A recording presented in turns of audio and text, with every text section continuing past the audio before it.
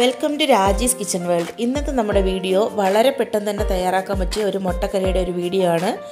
ഞാൻ ഇന്ന് നിങ്ങൾക്ക് വേണ്ടിയിട്ട് കാണിക്കാൻ പോകുന്നത്. അതിന് വേണ്ടിയിട്ട് ഞാനൊരു ആറ് മുട്ട എടുത്ത് വെച്ചിട്ടുണ്ട്. ഇത് നമുക്ക് വേവിച്ചെടുക്കണം. ഇപ്പോൾ ഒരു കടായിൽ എണ്ണ ചൂടാക്കി വെച്ചിട്ടുണ്ട്. രണ്ട് മൂന്ന് കഷ്ണം പട്ട ഇട്ട് കൊടുക്കാം.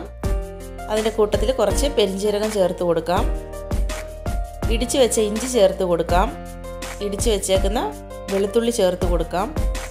ഇത് നന്നായിട്ടൊന്ന് ഇളക്കി കൊടുക്കണം. ഇതിന്റെ പച്ചമണം പോകുന്ന വരയ്ക്ക് നമുക്കൊന്ന് ഇളക്കിയെടുക്കാം. ഇപ്പോൾ രണ്ട് വലിയ സവാള നീളത്തിൽ എരിഞ്ഞ് വെച്ചിട്ടുണ്ട്. രണ്ട് പച്ചമുളക് കറിവേപ്പില എടുത്ത് വെച്ചിട്ടുണ്ട്. ഇപ്പം നമുക്ക് ഇതെല്ലാം ഇതിലോട്ട് ഇട്ട് കൊടുക്കാം. സവാള ഇട്ടതിന് ശേഷം നന്നായിട്ടൊന്ന് ഇളക്കി കൊടുക്കണം.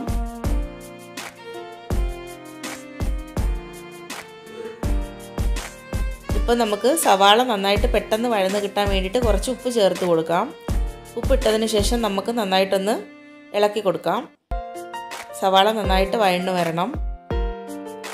ഇപ്പോൾ കണ്ടോ സവാള നന്നായിട്ട് വഴണ്ട് വന്നിട്ടുണ്ട്.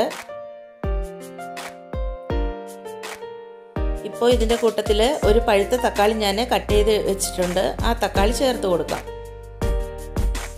തക്കാളി ഇട്ട് കൊടുത്തതിന് ശേഷം നന്നായിട്ടൊന്ന് ഇളക്കി കൊടുക്കണം.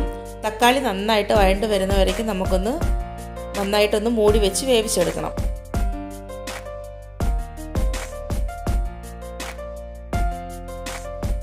അപ്പോൾ നമുക്ക് തുറന്ന് നോക്കാം. ഇപ്പോൾ തക്കാളിയും സവാളയും എല്ലാം നന്നായിട്ട് വഴണ്ട് വന്നിട്ടുണ്ട്. നന്നായിട്ട് വഴണ്ട് വന്നിട്ടുണ്ട്. ഇപ്പം നമുക്ക് ഇതിനാവശ്യമുള്ള മസാലപ്പൊടികളെല്ലാം ചേർത്ത് കൊടുക്കാം. ഒരു ടേബിൾ സ്പൂൺ കാശ്മീരി ചില്ലി പൗഡറാണ് ചേർത്ത് കൊടുക്കുന്നത്. എരിവ് കുറവായിരിക്കും. ഒരു ടേബിൾ സ്പൂൺ മല്ലിപ്പൊടി. അര ടേബിൾ സ്പൂൺ മഞ്ഞൾപ്പൊടി അര ടേബിൾ സ്പൂൺ ഗരം മസാല. ഇതിപ്പോൾ നമുക്ക് നന്നായിട്ടൊന്ന് ഇളക്കി കൊടുക്കണം.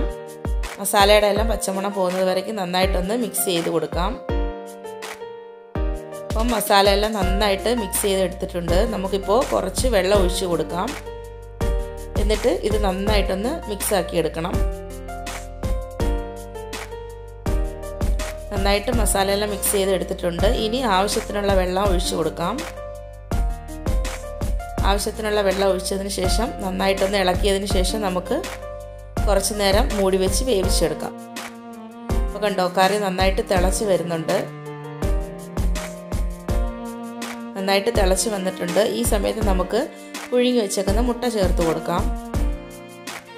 നമ്മുടെ വീഡിയോ ആദ്യമായിട്ട് കാണുന്നവരാണെങ്കിൽ നമ്മുടെ ചാനൽ ഒന്ന് സബ്സ്ക്രൈബ് ചെയ്ത് അടുത്തുള്ള ബെൽ ബട്ടൺ ഒന്ന് ക്ലിക്ക് ചെയ്ത് ഓൾ എന്നുള്ള ഓപ്ഷൻ കൊടുക്കുകയാണെങ്കിൽ ഞാൻ അപ്ലോഡ് ചെയ്യുന്ന വീഡിയോയുടെ നോട്ടിഫിക്കേഷൻ എല്ലാം നിങ്ങൾക്ക് വരും. മുട്ട ഇട്ടതിന് ശേഷം നമുക്ക് ഇതുപോലൊന്ന് നന്നായിട്ടൊന്ന് ഇളക്കി കൊടുക്കണം. ഇതിന് ശേഷം നമുക്ക് മൂടി വെച്ചിട്ട് ഒരു അഞ്ച് നിമിഷം നമുക്ക് സിമ്മിൽ വെച്ച് തന്നെ വേവിച്ചെടുക്കാം. അപ്പോൾ കണ്ടോ കറി നന്നായിട്ട് കുറുകി നന്നായിട്ട് വന്നിട്ടുണ്ട്. നല്ല തിളച്ച് എണ്ണയെല്ലാം പിരിഞ്ഞ് വന്നിട്ടുണ്ട്. ഇപ്പോൾ നമ്മുടെ മുട്ടക്കറി നല്ല അടിപൊളിയായിട്ട് റെഡിയായി വന്നിട്ടുണ്ട് കേട്ടോ. ഇത്രയേ ഉള്ളൂ. വളരെ പെട്ടെന്ന് തന്നെ നമുക്ക് റെഡിയാക്കി എടുക്കാൻ പറ്റുന്നൊരു കറിയാണ്. നമുക്ക് ചപ്പാത്തിക്കും ദോശയ്ക്കും അപ്പത്തിനൊക്കെ കൂടെ കഴിക്കാനായിട്ട് പറ്റിയ നല്ലൊരു കോമ്പിനേഷനാണ് കേട്ടോ ഇത്. അടിപൊളി മുട്ടക്കറിയാണ്. നിങ്ങൾ ഇതുപോലെ ഒന്ന് വീട്ടിലൊന്ന് ട്രൈ ചെയ്ത് നോക്കണം. വീഡിയോ ഇഷ്ടപ്പെട്ടാൽ ലൈക്ക് ചെയ്യുക ഷെയർ ചെയ്യുക കമന്റ് ചെയ്യുക.